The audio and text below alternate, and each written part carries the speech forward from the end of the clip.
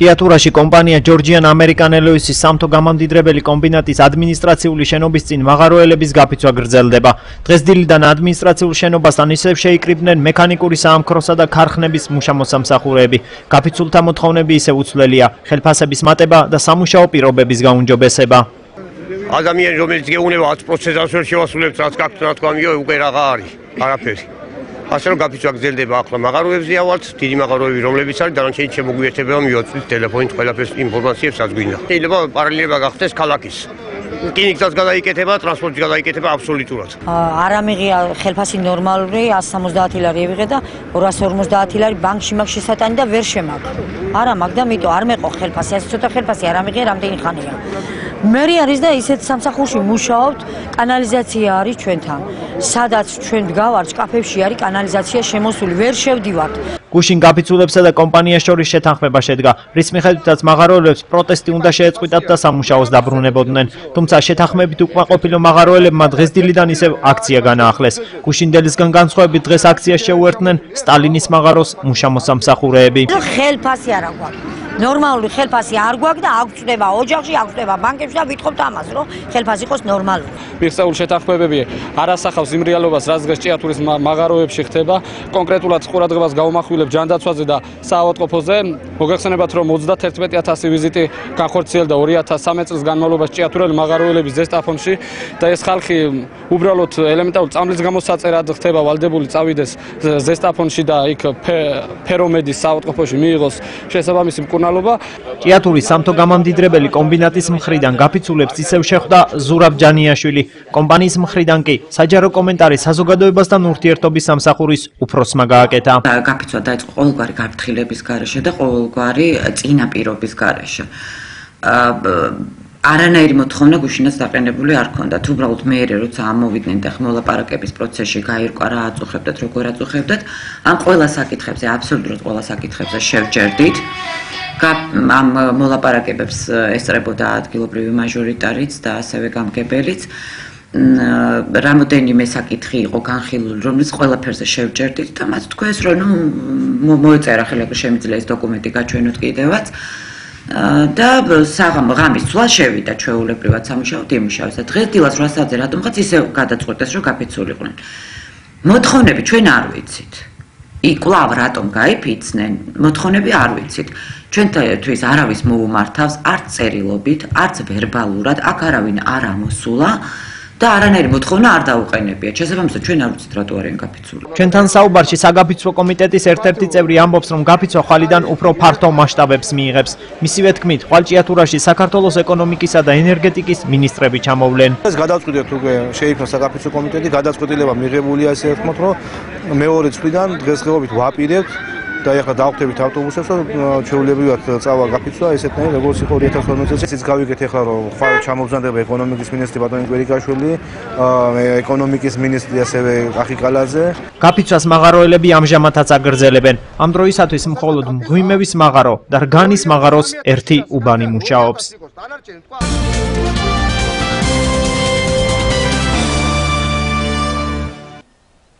ამ უზარმაზარ ეზოში მდგარი ასწლოვანი ხეები თითქოს თავისკენ გიხმობენ.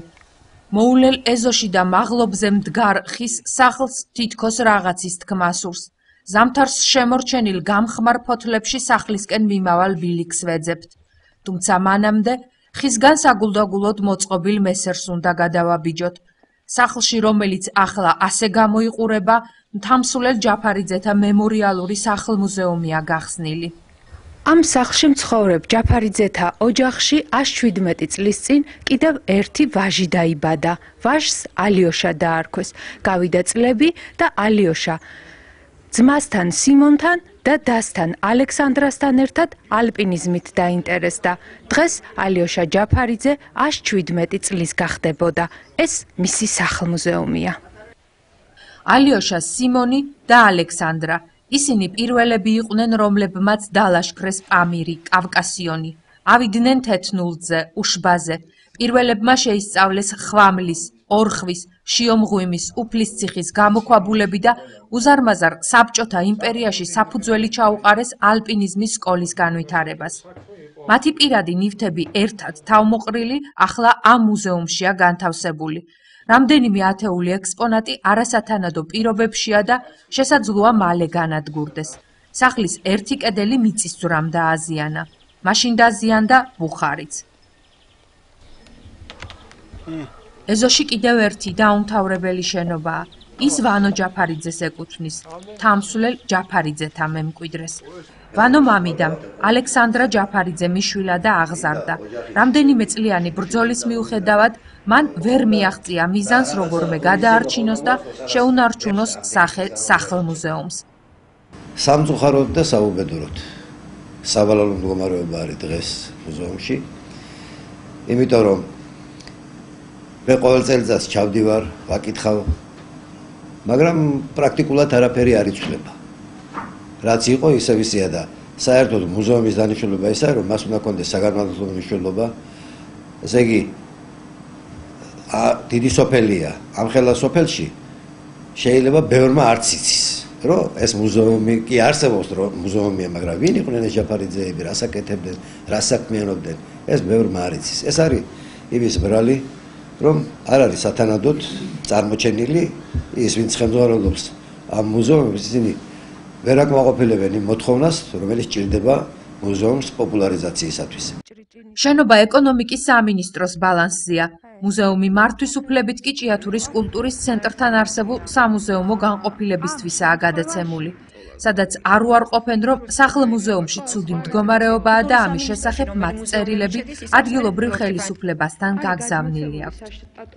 არის მძიმე მდგომარეობა, შეეხება შესასვლელ კიბეს, თვითონ შენობას, რაც შეეხება არის კაპიტალური, მაგრამ ამ ეტაპზე საჭიროებს აუცილებლად გადაუდებელ სამუშაოებს, შემოხობით სამუშაოებს, რაც შეეხება, ძირითადად ატანილია შემოსახობი მასალა, მაგრამ თვითონ რაც შეეხება სახლს, ვთქვათ, გადადგმული ნაბიჯი, ესე ვთქვათ, არ არის, მაგრამ დიახ, გაწერილი გეგმა თუ არსებობს, როგორ უნდა გადარჩეს ეს სახელმუზეუმი და სამწუხაროდ არ არის, არ არის ამის რეალური ნაბიჯი. პროფესორი გიორგი დვალაშვილი მიიჩნევს, რომ მსგავსი მუზეუმები რეგიონში ტურიზმის განვითარების მნიშვნელოვანი წინაპირობაა და აუცილებელია მუზეუმის გადარჩენა. ის იმ ფაქტზეც ამახვილებს ყურადღებას, რომ უნიკალური ექსპონატები მალე შესაძლოა საერთოდ დაიკარგოს.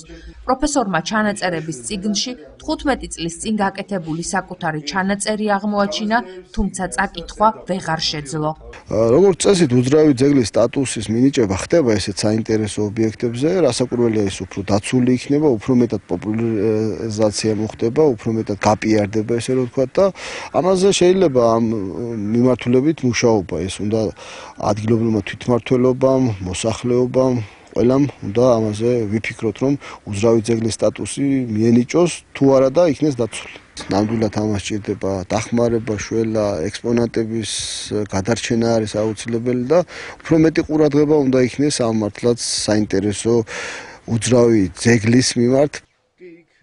მუზეუმში ჩვენი მასპინძელი მთავარი სპეციალისტია, რომელიც გვიყვება, რომ ეზოში მდგარი მარანი შარშან სოფელმა საკუთარი ძალებით შეაკეთა და თიხის სახურავი ლითონით შეიცვალა. ასეთი დიდი ზეგლის მასე ძალიან სავალალო მდგომარეობაა, რომ ვერ ვერ ვახერხეთ რომ მუზეუმს რაღაც გაუკეთოთ ის. ის რომ რაღაც შეიცვალოს მუზეუმზე სიახლე, ან კიბე შესაკეთებელი ხედავ თვითონაც ბუხარი. ნაწილი დაზიანებულია და თუ დროულად რა არ მოხერხდა აი ამის პატრონობა ალბათ არის ალბათ სხვა ექსპონატების დაზიანება. ორსართულიანი სახლ-მუზეუმის პირველი სართული დაკეტილია. მუზეუმის ყოფილი დირექტორი გვიხსნის, რომ ის ჯაფარიძეთა მემკვიდრეს ვანო ჯაფარიძეს ეკუთვნის და გასაღებიც მას აქვს. ექსპონატებს აუცილებლად ქიმიური დამუშავება ჭირდება. ეს ექსპონატები ძირითადად არის ფოტომასალები, როგორც ვხედავთ, ფოტომასალები, რომლებიც უკვე მოძველებულია, ის შავთეთრია, გადავიდა ბევრი ძალიან, ამავე დროს არის იქ სხვა ექსპონატებიც ხელწერილების სახით არის და ჭირდებათ და ჩვენ მივეცით ხოლმე და არავითარ შემთხვევაში დედანის გაცემა არ შეიძლება. ერთადერთი ექსპონატი, რაც აი ჩემი ჩატანილ მასალას მიემატა, იყო სწორედ გოდერძი სამხარაძის მიერ გადაცემული ეს უნიკალური წერილი. და აღმოჩნდა რომ ეს წერილი აღარ არის. ეს უნიკალური წერილი იყო. რომ კაცხის ვედზე პირველად ავიდა და ადგა კაცი კაცმა ფეხი ამ ჯერ თავისთავად მნიშვნელოვანმა ხალხმა ლევან გოთუა უზარმაზარი მწერალი, უზარმაზარი პიროვნება, ლეგენდა, შეიძლება ასე თქვა, ალიოშ ჯაფარიძე, ახტანგ ცინცაძე. ამათ მე ჩამოტანილ წერილს როგორც, რა ვიცი, ისედმო გაფრთხილებოდა. არ ვიცი, ეს არის უპასუხისგებლობა, სხვა არაფერი არ არის. თუ კი მუზეუმს ყავს დირექტორი, ყავს მსახური, დამლაგებელი, რაღაც შტატი არსებობს, რამდენიმე კაცის შტატია რა. ესე იგი რას რას უნდა აკეთებდნენ ისინი? ამას თუ არ იცავს, მაშინ რა მნიშვნელობა რისთვის ჩავიტანეთ მაშინ ეს? მეორე წელია ვანო ჯაფარიძე მამაპაპისეულ ფუძეზე ვეღარ ჩადის. შექმნილი რეალობა მას აფიქრებინებს, რომ ისინი, ვისაც მისი წინაპრების ისტორიის შენახვა და თაობებისთვის გადაცემა სამსახურებრივად ევალება, საქმეს თავს ვერ ართმევენ. მას კი საქმის კეთების ნებას არ აძლევენ. ამ ვითარებაში ყველაზე მთავარი დრო იკარგება. რომელიც წარსულს ანადგურებს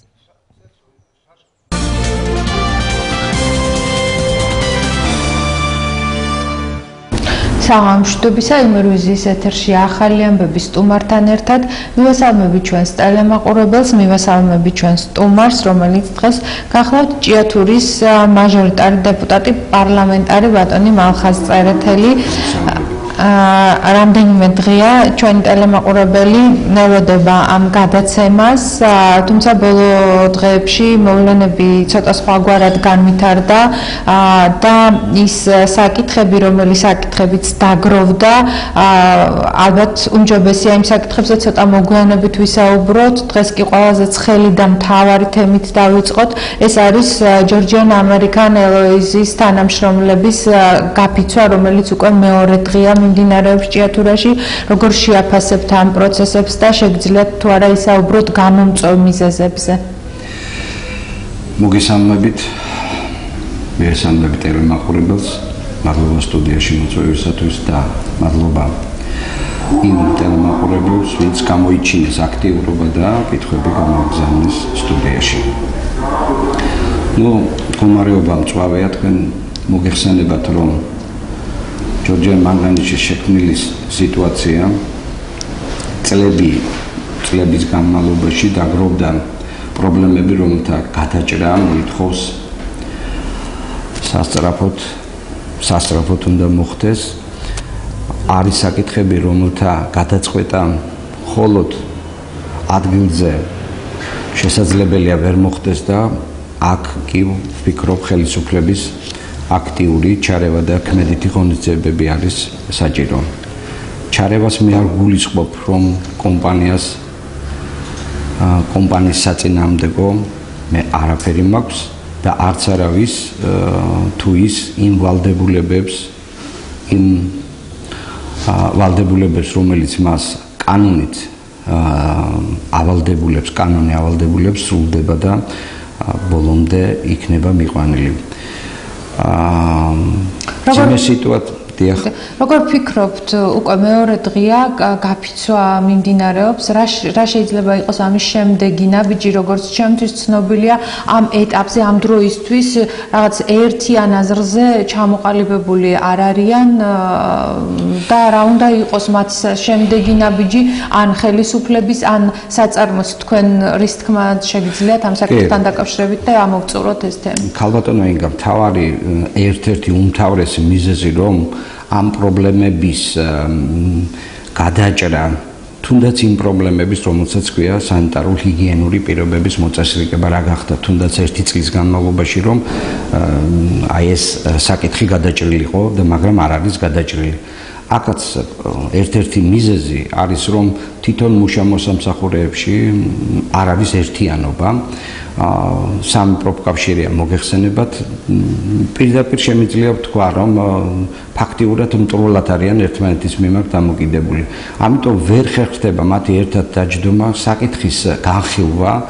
საკითხის განხილვა არა მარტო იმ კონტექსტში რომ დღეს რა გჭირდება მომავალსაც უნდა შევხედოთ ვერ მოხერხდა ეს მათთან მე პირადად ვერ მოახერხე ეს მათთან ამიტომ ეს არის ერთ-ერთი მიზეზი. შესაძლებელია კომპანია წარგებლობს ამ გათიშულობით და რადგან ეს მიზანმიმართულად ყოველ ანუ დროში გავრცობილად არ ხდება იმ პრობლემების მიწოდება მათდამი ისინიც მე მგონი ჩეულებრივად შვიდად გრძნობენ თავს იმ პასუხისმგებლობის მიმართ რომელიც აი ამ შრომელების შრომელების მიმართ.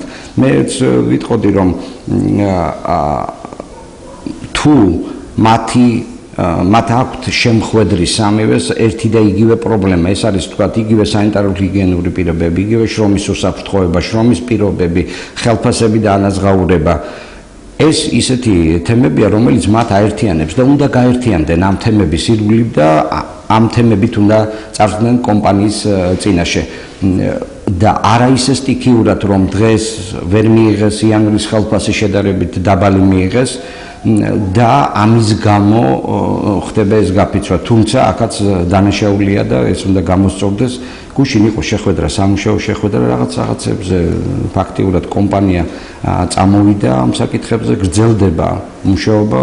მეც გამგებელიც აქტიურად ვარ ჩართული და თუ თუ კიდევ ერთხელ ვამბობ, იქნება ჩვენი მუშების ერთიანობა, საკითხები უფრო დროულად გადაწყდება და არ მიიღებს სტიქიურ ხასიათს, ვისიც მეშინია ძალიან და თითოეულ ჭიათურას გვეშინია, რადგან დასაქმებულების უკან ოჯახებია და შეიძლება კომპანია მართლაც გააჩეროს ეს სამ სამშაოები რომ და უძიმეს მდგომარეობაში აღმოჩნდება თითოეული მათი ოჯახი. კეთილი. აა უნდა აღნიშნო ისიც რომ ხა საზოგადოება ტელემაყურებელი ამ გადაცემის მოლოდინში იყო რამდენიმე ათეული კითხვა შემოვიდა ჩვენ შევეცადეთ თემატურად დაგვეჯგუფებინა ეს შეკითხვები თუმცა მაინც ბლომად დარჩა. ამიტომ მეც შევეცდები რომ მოკლედ დავსვა კითხვები და ასევე ლაკონური პასუხებიც მივიღოთ რომ ამოვწუროთ ყველა ეს შეკითხვა რომელიც დღეისათვის არის მოწოდებული ჩვენთვის. და მეორე მთავარი საკითხი ეს შეეხება ჯანდაცვას და საავადმყოფოების თემას. გასული კვირის ბოლოს ჯანდაცვის ministris მოადგილე იმყოფებოდა ჭიათურაში, გამართა თითქმის 2 საათიანი სამუშაო შეხვედრა. რით დასრულდა ეს შეხვედრა?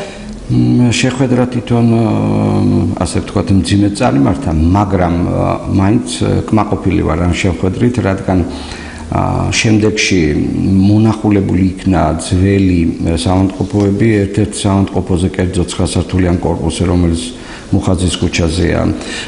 აი ამ корпуსზე არის ყურადღება შეჩერებული.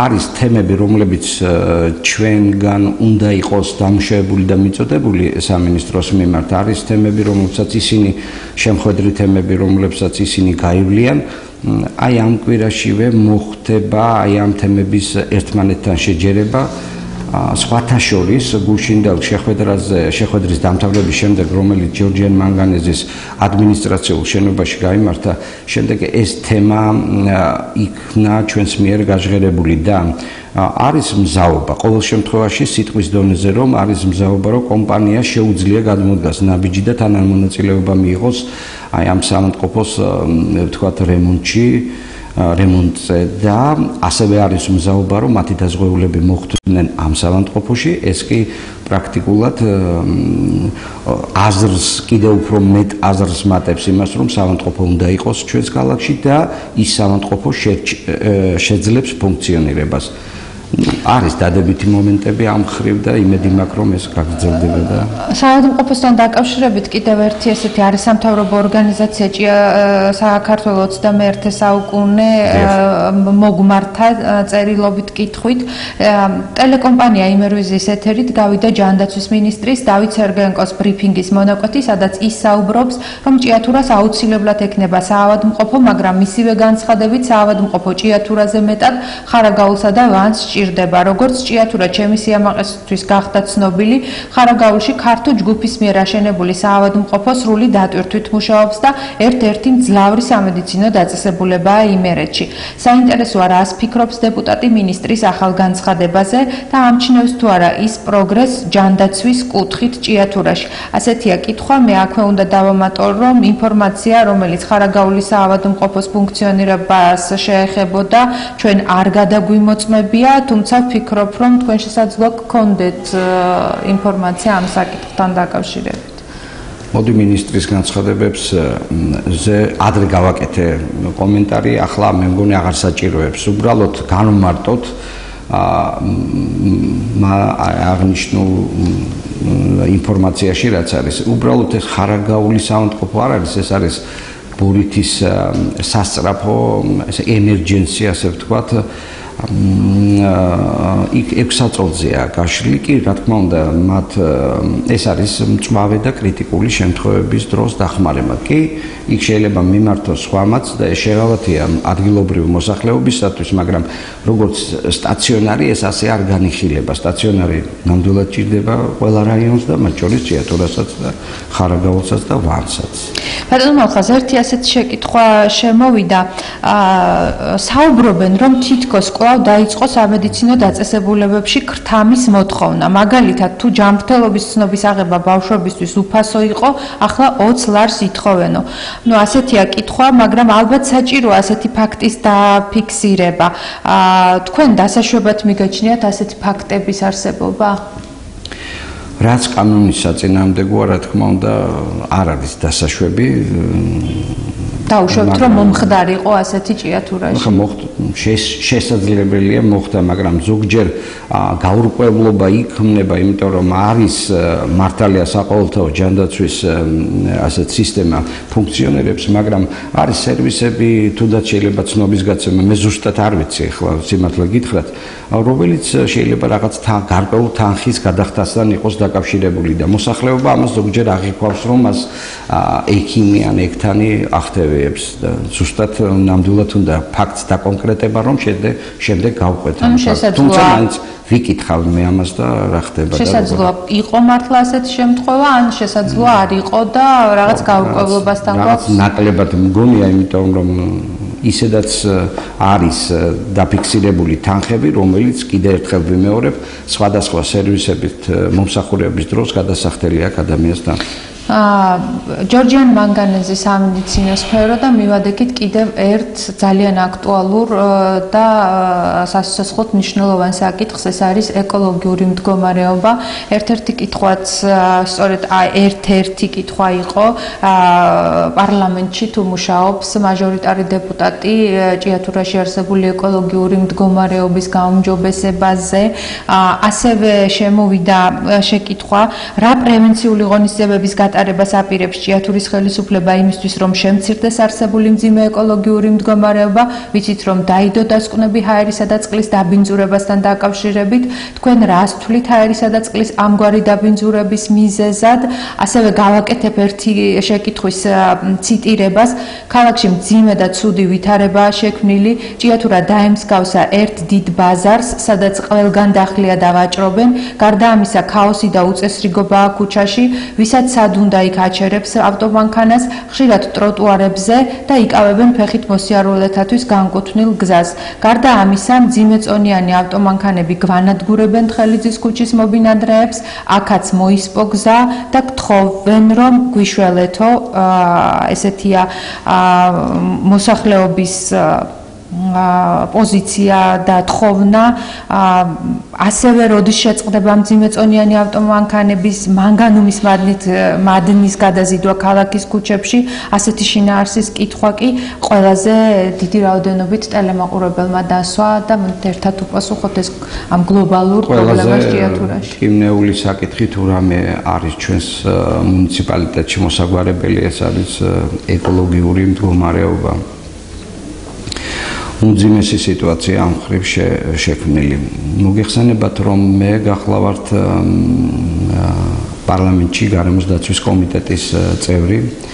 ჩემი ინიციატივით ივლისის თვეში გარემოს დაცვის კომიტეტს აქვს ზუსტად აი ამ საკითხების კიდევ ერთხელ შეფასებისათვის და კიდევ ერთხელ მათ რომ საკუთარი თვალით ეხილათ ის მდგომარეობა რა მდგომარეობაც სუფებს აა ჩვენს მუნიციპალიტეტში ეკოლოგიური თვალსაზრისით აქ იყოფებოდა გარემოს დაცვის კომიტეტი რომელსაც გასვლით ცნობა ჩატარა და იმყოფებოდა გარემოს დაცვის სამინისტროს წარმომადგენლები. ანალოგიური აი ამ შეხვედრის შედეგი იყო ის, რომ შემოწმდა სამი უბანი გარემოს დაცვის ზედამხედველობის სამსახურის მიერ 2 მილიონზე მეტი ლარით დაჯარიმდა კომპანია და საქმე გადაცემული არის პროკურატურაში. აქ კიდევ შესამოწმებელია 10 უბანი და ამ 10 უბნის მიმდინარე წელს შემოწმებას აპირებს და ამაზე იყო საუბარი კიდეც მქონდა გარემოს დაცვის სამინისტროში ამ დანარჩენი უბნების შემოწმებას. აა რომ უმძიმესი მდგომარეობა გვაქვს არა მარტო აი ნიადაგის რეკულტივაციის რეკულტივაციას არ ახდენს ბოლო წლებში არ ახდენ და და ვერ ამ სამსახურს ვერ ასრულებდა. ჭიათურო მანგანუმი და ჯორჯიან მანგანეს ჯერჯერობით ამ 8 წლის განმავლობაში პრაქტიკულად არაფერი არ გაუკეთებია და 12 სოფელი ხშირად ვიმეორებ ხოლმე პრაქტიკულად ამ ამთავრებს არსებობას დაიწყო ჩვენი ასე ვთქვათ, ნიადაგის გაუდაბნოების პროცესი და ისეთ მწირი, ნიადაგით ისეთ მწირ რაიონში, როგორც ჭიათურის მუნიციპალიტეტია. აქ არის უამრავი საკანონმდებლო ხარვეზი. თქვენ მოგეხსენებათ, რომ კიდეც იყო რამდენჯერმე გაჟღერებული ეს 2011 წელს საერთოდ ხურავდნენ გარემოს დაცვის სამინისტროს და ბაზა ბაზები ბაზა რაც იყო საკანონმდებლო აქტები რომელიც ავად თუ კარგად ასე ვთქვათ, ეკოლოგიურ ეკოლოგიური თვალსაზრისით რაღაც დაცვის მექანიზმი იყო, ეს კანონები პრაქტიკულად აღარ აღარ ფუნქციონირებს და ხელახლა გასავლელია მთლიანად ის კანონმდებლობა, რომელიც აი ამ კატასტროფას შეაჩერებს პირველ ეტაპზე მაინც. და შემდეგ მოთხოვს ზუსტად პასუხს აი ამ დიდი უბედურებისთვის, რაც ჩვენს რაიონს ეწვია. აი ამ თვალსაზრისით პირდაპირ შემიძლია ვთქვა რომ ზუსტად ეს გაჟღერდა რამდენჯერმე კიდეც რომ აი ეკოლოგიური თვალსაზრისით რაღაც რა გარკვეული ნაწილი უბედურების ზონათაც შეგვიძლია გამოვაცხადოთ. აა რა შეიძლება ძიმეწონიან მანქანებს ეს საკითხი ძალიან მაწუხებს. ჩვენ საკრებულოს 2005 წელს მიღებული აქვს დადგენილება ამის შესახებ რომ ძიმეწონიანი მანქანების ნედლი მასით დატვირთული ძიმეწონიანი მანქანების გადაადგილება ჩვენს ქალაქში აკრძალულია. 2013 წლის საკრებულოს კლავ ცირეთ, მაგრამ მაინც კიდევ უფრო მეტად გაამკაცრა ეს. ანუ ეს დევს, მაგრამ ამ კითხვას როგორც ტელემაყურებელი ისე მეც სვავ, რატომ ვერ ასრულებს ადგილობრივი სამართალდამცავი ორგანოები რომ აღასრულონ საკრებულოს დადგენილება. მათთან რამდენჯერმე ასე ვთქვათ საუბრის შემდეგ ისინი ამბობენ რომ მათ მხოლოდ და მხოლოდ ადმინისტრაციული კანონმდებლობით შეუძლიათ იმოქმედონ და მეტი არაფრის გაკეთება შეუძლიათ და ამ კითხვით მიმართე ასევე სამხარეო პოლიციას, მიმართე ყველა ძალოვან სტრუქტურას ეს კითხვა დავსვი ასე ვთქვათ ეგრეთ წოდებულ ვიდეო მიმართვაში. ჯერჯერობით პასუხი მეც არ მემიღია და ბოდიშუხტი ტელემაყურებელს რომ ვერ ვცევ ამაზე პასუხს რა უშლის ხელს რომ შეჩერდეს ძიმეწონიანი მანქანების გადაადგილება ჩვენს ქალაქში. ქალაქში რომელიც აი ესეთ ქვაბულში იმყოფება სუნთქვა ჭირს ცხოვრება ჭირს გაუსაძლისი და კიდე ეს დამატებითი მიზეზია. და თუ გავითვალისწინოთ ბატონო მალხას ბოლო დროს გავრცელებული ინფორმაციას იმის შესახებ, რომ ჭიათურაში სამ სხვადასხვა ადგილზე მოინიშნა ტერიტორიები ეგრეთ წოდებული ავტოსასწორებისთვის, ხომ არ არის ეს იქეთკენ გადადგმული ნაბიჯი, რომ ვერასდროს ვეღარაულით გვერდს იმ ფაქტს, რომ აიკრძალოს მადნით დატვირთული მძიმეწონიანი ავტომანქანების ქალაქის ქუჩებში მოძრაობა. მე მგონია ამან ხელი არ უნდა შეუშალოს, პირიქით უნდა შეუწყოს ხელი, იმიტომ რომ ის სხვადასხვა ქალაქის გასასვლელში და მეორე სხვადასხვა კუთხის კუთხეში უნდა იყოს დადგმული და შესაბამისად არ უნდა დაჭirdეს ერთი რომ იყოს მესმის, მაშინ უნდა გადაადგილდეს, მაგრამ რადგან 2 და 3-ზე შეიძლება ლაპარაკი იყოს, პირიქით მე მგონია რომ აღარ არ უნდა შეუშალოს ხელი და არ უნდა გაამწოვოს პროცესი. თუმცა ამ საკითხს კარგია და მადლობა ამ ესეთ გაჟღერებისათვის რომ კიდე სხვანაირი კუთხით შეიძლება დავინახოთ ეს და გავივლი ამას ცალკე რა თქმა უნდა. რაც შეეხება თქვენ ახსენეთ პოლიციასთან დაკავშირებული საკითხები, კითხვები არა მარტო მათი მისამართით, არამედ ადგილობრივი ხელისუფლების მისამართითაც ბევრია და ჩვენ საზოგადოებას ტელემაყურებელს აინტერესებს, რამდენად კმაყოფილი ხართ თქვენ ადგილობრივი ხელისუფლების მუშაობით? ეს ერთი კითხვა. მეორე, რა არის ყველაზე დიდი გამოწვევა ადგილობრივი ხელისუფლებისთვის თქვენი მხრიდან და მესამე კითხვა, იგივე ამ თემაზე, ერთ-ერთი რესპონდენტი არ აკონკრეტებს რომელ სფეროში, მაგრამ ზოგადად მიიჩნევს, რომ დაბალი კვალიფიკაციის მქონე კადრების პრობლემაა, რაც მისი აზრით ხელს უშლის მუნიციპალიტეტის განვითარებას. თქვენ ხედავთ კვალიფიციური კადრების დეფიციტს ასეთი სიმწვავით და იქნებ იმ ორ კითხვასაც ერთად უპასუხოთ. დავიწყოთ თავიდან, კმაყოფილი ვარ თუ არა, კმაყოფილი, როცა ესეთ ძიმე რეჟიმში მუშაობთ მაყოფილი არ უნდა იყო ადამიანი, არც მე ვარ მაყოფილი თვითონ ჩემი მუშაობით კიდე მეტი მინდა გავაკეთო ამ ხრივ ამ ამ თვალსაზრისით თვალსაზრისით ვამბობ და რა თქმა უნდა სული მაყოფილება არ მაქვს არც მუნიციპალიტეტის მუშაობით. ბევრი რამეა შესაძლებელი, ბევრი რამეა უფრო ინტენსიურ რეჟიმში, უფრო ქმედითად უნდა წდებოდეს. ну ალბათ გარდამავალი პერიოდივით არის ეს და რაღაცას შეიძლება ვთქვა რომ ჯერა რომ ეს გამოსწორდება რაც ხარვეზია და უფრო კმედით იქნება გამგეობის მუშაობა. რაც შეეხება კადრებს ამაზე სრული პასუხისგებლობით შემიძლია ვთქვა რომ დეფიციტს განიცდის არა მარტო ჭიათურის მუნიციპალიტეტი, მთლიანად საქართველოს მასშტაბით კვალიფიციური კადრების ნაკლებობა არის. ეს არ არის დაკავშირებული მარტო იმასთან, რომ ხელისუფლება შეიცვალა და ვეღარ პოულობთ ვინმეს ან პარტიული ნიშნით ის ვინც კვალიფიციურია აღარ ღებულობენ და საერთოდ არის კვალიფიციური კადრების დეფიციტი. ეს ღრმად წაგვიყვანს ძალიან სკოლიდან დაწყებული მოვდივართ რომ ვერ სრულფასოვან განათლებას ვერ ვაწოდებთ ჩვენ შვილებს შემდეგ გძელდებეს ინსტიტუტებშიდაც და საბოლოო ჯამში მივიღეთ ის რომ ყავს კვალიფიციური კადრების დეფიციტი. ეს არა მარტო აქ ავიღოთ თქვა ჩვენ სამთო წარმოება. კვალიფიციური კადრების დეფიციტია ნამდვილად. საქმე თუ იცი გიყვარს. საქმე როცა არ იცი, იმ საქმეს ვერასდროს ვერ შეიყვარებ. აი ესეთი მდგომარეობები გვაქვს არა მარტო მუნიციპალიტეტში, არამედ მის გარესაც ჩვენთან ახლა ერთი საწარმოა და იმ საწარმოზე ვთქვი. და ალბათ ამ ვითარებას შეგუება არ მოუხდება ბრძოლა და ძებნა სკოლის მერხიდან უნდა დავიწყოთ ბრძოლა. ვერ მოძებნით ჩვენ ასე მალე კვალიფიციურ კადრებს. იქიდან უნდა დავიწყოთ აქ სახელმწიფოს როლია ძალიან დიდი, რომ განათლების სფეროს ჭირდება კარდინალური ცვლილებები და იმედია ეს ცვლილებებიც მალე განხორციელდება. ჩვენ გადაცემის პირველი ნაწილი ამოვწურეთ, რამდენიმე წუთიანი სარეკლამო პაუზა იქნება ხა ჩვენს ეთერში და რამდენიმე წუთში კვლავ დავბრუნდებით უფრო საინტერესო თემებით.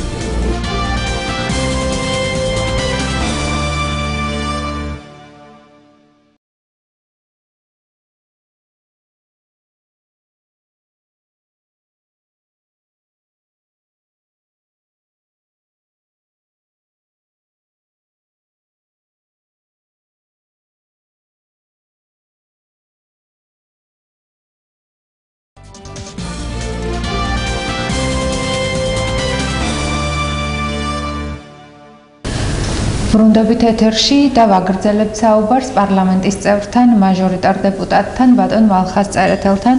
ბატონ მალხას, შემდეგი შეკითხვები, შემდეგი შეკითხვა ასეთია, საპენსიო ასაკთან დაკავშირებით, იყო საუბარი მუდმივად, რომ 65 წლის ნაცვლად 60 წელზე უკვე მიიღებდნენ ქალბატონები პენსიას. ამ ხრივ თუ არის რაიმე წინ გადადგმული ნაბიჯი, ასევე რეგრესის პენსიებსაც შევეხები, მოგვარდა გაი ირკვა ეს საკითხი საბოლოოდ თუ ისევ პრობლემებია? დიახ.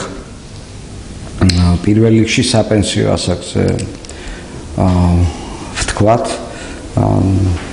მე დავიწყე ახალი კანონ პროექტზე მუშაობა, ეს შეეხება ზუსტად ამ საპენსიო ასაკს, ასე ვთქვათ, მოკლევის სტადიაშია, ძალიან გაჭირდა აა იმ რიცხვის აა ასე ვთქვათ, მოძიება რამდენი ადამიანია საქართველოში ჯანმრთელობისათვის და სიცოცხლისთვის, საშიშ ჯანმრთელობისთვის მავნე და სიცოცხლისთვის საშიშ სამსახურებში.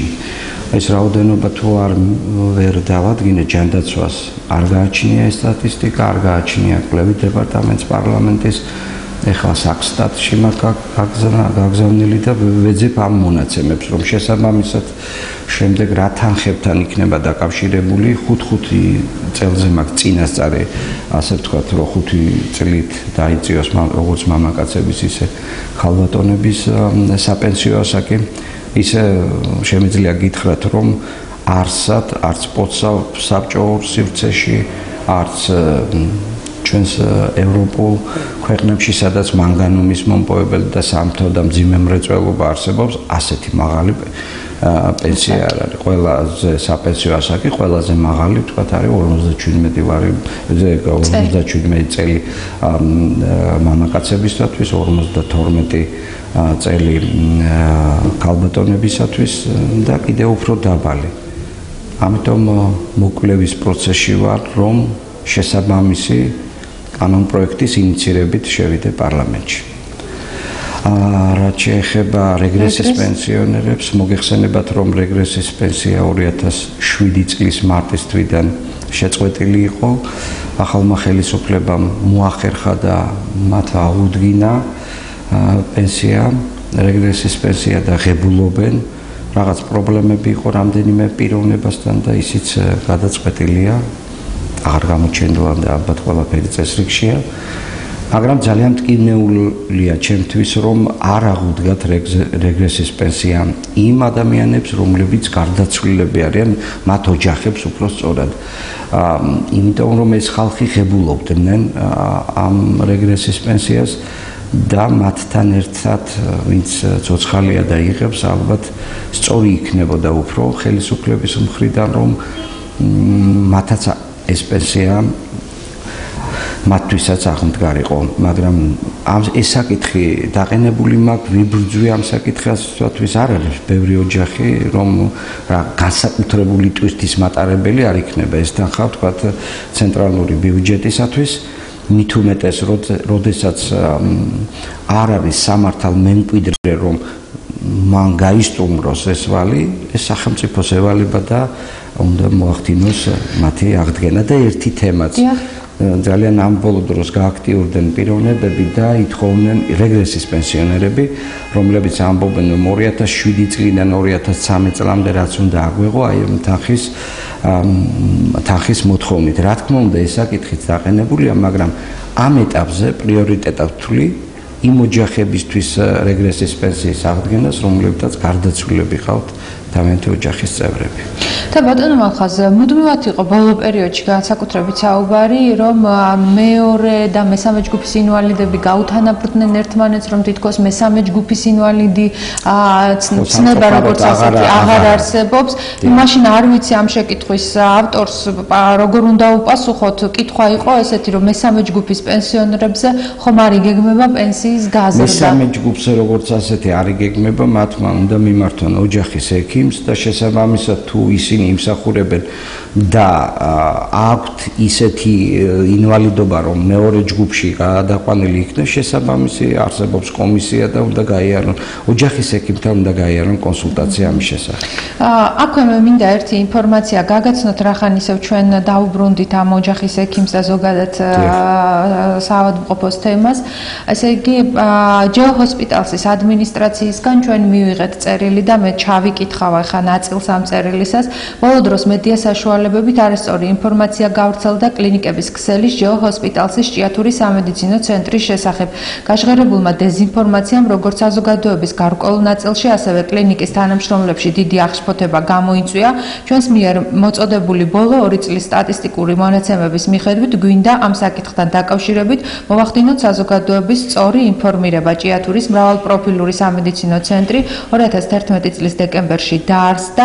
აქ ფუნქციონირებს როგორც 25 საწოლიანი სტაციონარი, ასევე ამბულატორიული სერვისები ჭიათურაში ჯეო ჰოსპიტალსის დაარსების დღიდან ბოლო 2 წლის 2012-2013 წლის სტატისტიკური მონაცემების მიხედვით სულ დაფიქსირდა გეგმიური ამბულატორიული ოპერაცია 26988, გადაუდებელი ამბულატორიული 9625, გეგმიური და გადაუდებელი ოპერაციები სულ 1283, მშობიარობა 594. ეს ინფორმაცია ცნობისთვის ალბათ ჩვენი ტელემაყურებლისთვის და შემდეგი კითხვები ეს შეეხება უკვე დასაქმებას, განსაკუთრებით ეს პრობლემა ჭიათურაში ახალგაზრდებს აწუხებთ. ასევე ითხოვენ 9 აპრილის ქუჩაზე მაგალითად სკვერის აღდგენას. აა წყალი, სასმელი წყალი, გზა, ზოგიერთ უბანში, საუბარია შიდა ეზოებზეც და საბავშვო ბაღებში ინფრასტრუქტურა არ არის კარგ მდგომარეობაში. თქვენი ცნებართვით, გალბატონო ინგა, პირველ რიგში შევეხები ჯეო ჰოსპიტალსის მიერ გამოგზავნილ ინფორმაციას და მადლობა მათ და ყველა იმ მეტ პერსონალს, ვინც იქ მუშაობს იმ გაწეული სამსახურისათვის, რომელიცაც ისინი ასრულებენ. მადლობა მათ ამისათვის, მაგრამ მე ვამბობ ერთ ამ დროს რომ ვერ აუდის და ვერ აკმაყოფილებს სრულად ჯეო ჰოსპიტალსის 25 საწოლიანი სამონტყოფო ჭიათურის მუნიციპალიტეტის მოთხოვნებს. 31000 ვიზიტი განხორციელდა ჩვენს მეზობელ რაიონში ქალაქ ზესტაფონში მხოლოდ ერთ სამონტყოფოში ფერომეთში 31000 ვიზიტი. უმორჩილესად ვთხოვ ჯეო ჰოსპიტალს ის ხელმძღვანელობას რომ გამომიგზავნონ ასევე ის სტატისტიკა, რომელსაც ვორთვენ ახევარია ვეხვერწები, ოფიციალურად მაქვს ეს მოთხოვნილი, რამდენი ავანტყოფია გოსპიტალიზირებული სხვა კლინიკებში, თუნდაც ჯეო ჰოსპიტალსის კლინიკებში, ზესტაფონსა და ცხეთაში. ეს ამ თემას რაც შეეხება, ხა მე ბაღებიდან დავიწყებ, თუ შეიძლება, იმიტომ რომ ძალიან კარგი ასე ვთქვათ რეფორმა დავარქვათ ამას განხორციელდა რომ უფასო გახდა ბახში ჩვენი პატარების მიღება ასე ვთქვათ და უფასო მათი მომსახურება იქ. მაგრამ გაზარდა კონტინგენტი ამან და ის ინფრასტრუქტურა რომელიც რომელიც გვაქვს რეალურად ვერ აკმაყოფილებს ნამდვილად ამ მოთხოვნებს. პირველ რიგში როგორც აი გამგეობას დაგეგმილი აქვს იაშვილის ქუჩაზე არსებული ორი ბაღის გადახურვა და იქ ინფრასტრუქტურის მოწესრიგება, ასევე გადახურვა და შემინვა გიორგაძის ქუჩაზე არის ბაღი, რომელიც ძალიან სავალალო მდგომარეობაშია.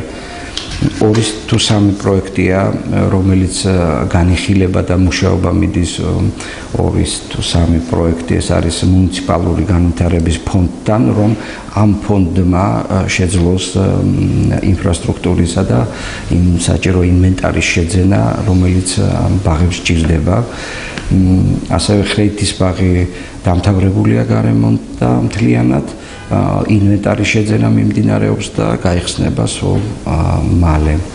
რაც შეეხება გზებში და გზებზე, სხვათა შორის საკმაოდ ისეთი პროექტებია წელს ჩაგეგმილი, რომ ძალიან ძალიან აი შიდა გზებზე და თუნდაც სკვერებზე სკვერების მიმართ იქ იქნება განხორციელებული პროექტები რომლებიც სრულყოფილებაში და მოაწესრიგებს ამ ამ სტრუქტურებს კიდევ რა იყო? და კიდევ ერთი კითხვა უბრალოდ ბოლო ორი კითხვა დამრჩა მოდით მოახლო ახლოვდება ადგილობრივი თვითმმართველობის არჩევნები თარიღიც უკვე ცნობილია და კითხვა სწორედ არჩევნებს ეხება რესპუბლიკური პარტია ხო არა აპირებს დამოუკიდებლად თვითმმართველობის არჩევნებში მონაწილეობის მიღებას.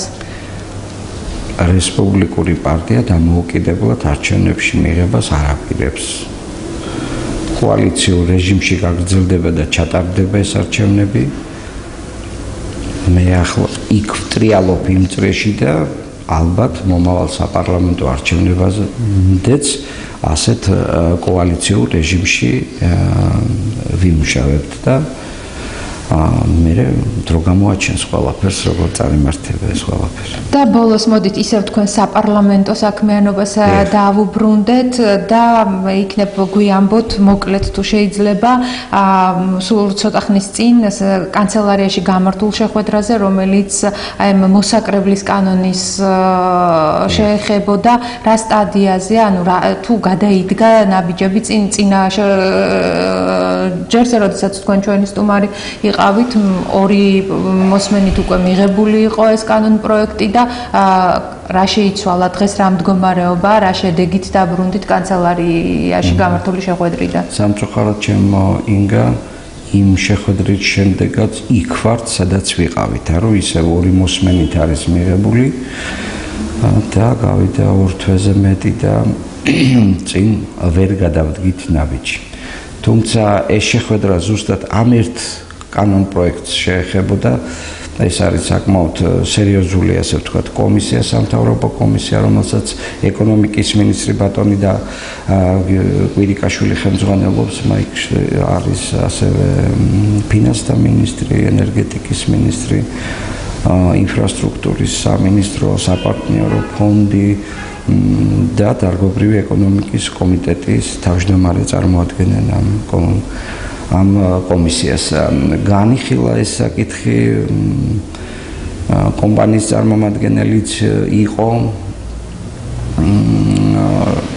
ინფრასტრუქტურის ministris ბატონი დავით ნარმანიას წინადადებით შეიქმნა რაღაც მცირე სამუშო ჯგუფი, პატარა ჯგუფი, რომელიც რაღაც კონსულტაციებს გაივლის ფინანსური თვალსაზრისით კომპანიასთან და აი ამის შემდეგ ამის შემდეგ ალბათ იმედი მაქვს, რომ შედეგებს გამაგებიებენ და მისამე მოსმენით მიღებული იქნება ეს კანონი. აი ძალიან საჭიროა ჩვენი მუნიციპალიტეტისათვის ძალიან დროული იქნება და უამრავი პრობლემის გადაჭრისთვის რომელიც რომელსაც პირდაპირ სასიცოცხლო მნიშვნელობა აქვს ჭიათურისათვის. აი თქვენ ახსენეთ თქვათ წყალმომარაგება ხო? კატასტროფა გვაქვს წყალმომარაგებაში. ეს პრობლემა დღეს არ დამდგარა. ათეული წლებია ამ პრობლემაზე მუშაობენ. მით უმეტეს უნდა გადმოეცეს მუნიციპალიტეტს 16 ჯორჯიან მანგანეზიდან 16 სატომბო წყალსადენი და 250 გზივი მეტრი მიწისქვეშა ინფრასტრუქტურა რომელიც ამორტიზირებულია სრულად და განადგურებულია და მას მარტო მუნიციპალური განვითარების ფონდიდან არ იქნება ესე რომ სრულად დაგვაფინანსონ. ჩვენც უნდა გქონდეს რაღაც იმის თავი და საშუალება რომ მივხედოთ ამ სისტემას თორემ ესე იგი აქ თქვენ ტელევიზიაში და ყველგან ვაფიქსირებ. ჭიათურა არის სასმელი წყლის გარეშე სასწრაფოდ უნდა მიეხედოს ამ საკითხს მაგრამ ამას ჭირდება ძალიან დიდი თანხა და ამ თანხის გარკვეულ შეხიდება შეუძლია იმ კანონ პროექტით თუ გავა ბოლომდე თუ არ უნდა ამას მაგრამ აუცილებლად გავა იმ კანონს ის კანონ პროექტი მოგვიტავს დამატებით რამდენიმე მილიონს რომელიც აი ამ საქმეებში შეიძლება გადამწყვეტი როლიც კი ითამაშოს დიდი მადლობა ნორმალ ხას სტუდიაში მოგბრძანებისთვის როგორც ვატყობ, წინ ძალიან ცხელი გაზაფხული იქნება. წარმატებებს გისურვებთ.